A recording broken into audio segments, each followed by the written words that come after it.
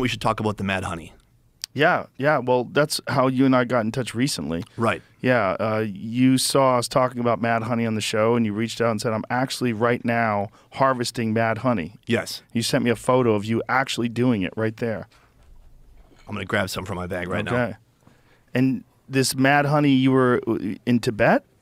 Is that where you get it from? This was in Nepal. Nepal. Very close to Tibet. This is it. Now, this looks like store bought honey because there's a label on there.